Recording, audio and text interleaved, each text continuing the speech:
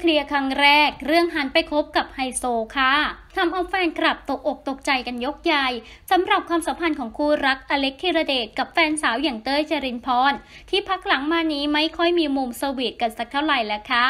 ล่าสุดนี้หนุ่มอเล็กธีรเดชได้ออกมาเปิดใจผ่านสื่อมวลชนเป็นครั้งแรก โดยบอกว่าความรักของเขานั้นได้ยุติความสัมพันธ์ในฐานะแฟนเป็นที่เรียบร้อยแล้วล่ะค่ะ ปิดฉากรัก 3 ปี ซึ่งเป็นการตกลงกันของทั้งสองฝ่ายแล้ว จบกันด้วยดีค่ะ ยังคงรักและหวังดีต่อกันเสมอ พร้อมยอมรับว่าแอบเครียดที่ฝ่ายหญิงนั้นโดนโจมตี เพราะว่าเพื่อนในกลุ่มมีแต่คนคบไฮโซ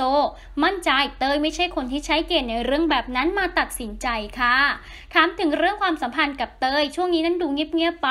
จริง ๆ แล้วเราสองคนได้ทำการตัดสินใจร่วมกันครับ ว่าเราจะลดสถานะ ลดความสัมพันธ์กันมาสักพักใหญ่ๆแล้ว แต่ว่าเราไม่ได้บอกใคร ไม่ได้ประกาศให้ใครรู้ สาเหตุนั้นเกิดจากอะไร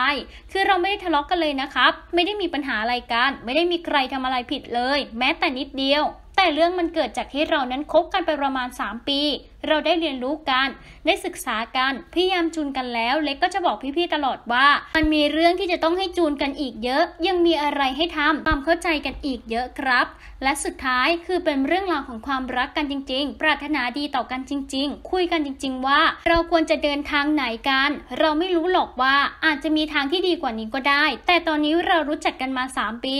คบกันมา 3 ปี เราหาตรงนั้นไม่เจอครับ ลดสถานะเหลือเพียงแค่คำว่าเพื่อนเหมือนเดิม ใช่ครับ เอาจริง ๆ มันเป็นเรื่องที่ยากสำหรับเราสองคนมากๆเลย ด้วยความที่เราก็ยังรักกันอยู่ด้วย หวังดีต่อกันครับ ก็ถือว่าเป็นโชคดีที่ทุกวันนี้เรายังคุยกัน มีการถามไถ่สารทุกข์สุขดิบกัน ใครที่มีปัญหา ใครที่เครียดก็ยังพร้อมที่จะเป็นเบาะรองรับซึ่งกันและกัน คอย support กันและกันเหมือนเดิมครับ ก็จะเป็นจุดที่เราโฟกัสในช่วงนี้ว่า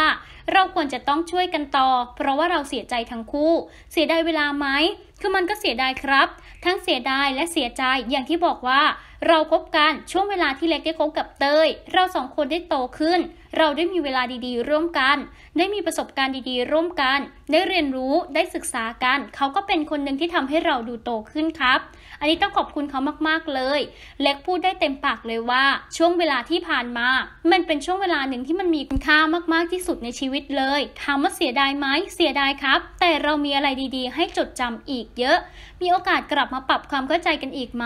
คือมันก็เป็นเรื่องของอนาคตจริง ๆ นะครับ อเล็กเองไม่สามารถบอกได้เลยว่า มันเป็นยังไงต่อไป ทุกวันนี้เราทั้งคู่เป็นกัลยาณมิตรที่ดีต่อกันมาก ๆ เรา support กันและกัน เป็นความสัมพันธ์ที่มัน healthy มากในตอนนี้ครับ ล่าสุดในวันนี้เอง สาวเต้ย จรินทร์พรได้ออกมาเปิดใจเป็นครั้งแรกกับสื่อสารมวลชนค่ะ โดยเล่าข่าวนี้ว่า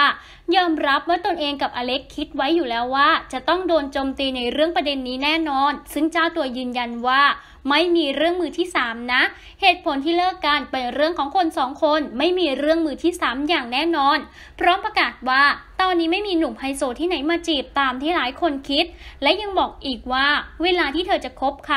ความสำคัญมันอยู่ที่คุณค่าความเป็นคนคนนั้นมากกว่า ซึ่งเธอก็ยังบอกไม่ได้ว่าคนที่จะเข้ามาในชีวิตคนต่อไปจะเป็นยังไง เพราะว่าเป็นเรื่องของอนาคตที่เธอเองก็ยังไม่ทราบเหมือนกันค่ะ